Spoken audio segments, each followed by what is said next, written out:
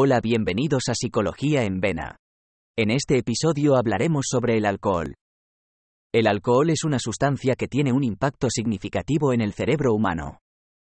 Cuando consumimos alcohol, este atraviesa la barrera hematoencefálica y afecta el funcionamiento del sistema nervioso central, lo que a su vez altera diversas funciones cognitivas y emocionales. El alcohol actúa sobre el cerebro interfiriendo con la comunicación entre las neuronas.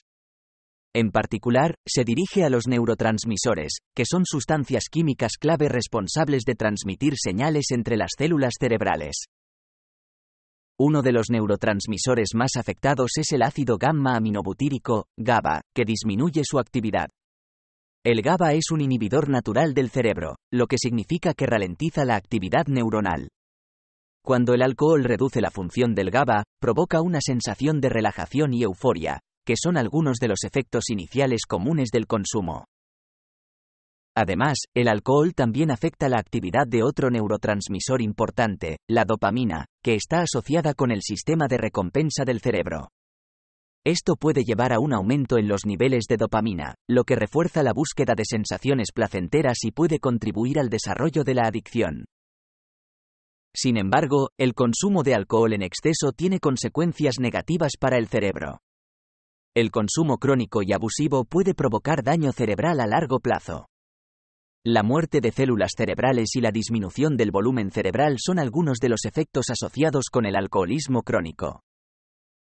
Esto puede llevar a dificultades cognitivas, problemas de memoria, alteraciones en el juicio y la toma de decisiones, y dificultades en el control de los impulsos. El alcohol también afecta la corteza prefrontal del cerebro, que está involucrada en el pensamiento complejo, el autocontrol y la toma de decisiones conscientes. Esta disfunción puede llevar a comportamientos impulsivos y poco razonados mientras se está bajo la influencia del alcohol. Es importante destacar que el daño cerebral asociado con el alcohol no es reversible y puede tener un impacto significativo en la calidad de vida de la persona. Por lo tanto, es fundamental adoptar un enfoque responsable y moderado hacia el consumo de alcohol para proteger la salud y el bienestar del cerebro y del organismo en general. Si alguien experimenta dificultades para controlar su consumo de alcohol, es importante buscar ayuda profesional, ya que el alcoholismo es una enfermedad tratable pero seria. Suscríbanse. Para poder seguir subiendo vídeos, dar un like y campanita. Hasta la próxima.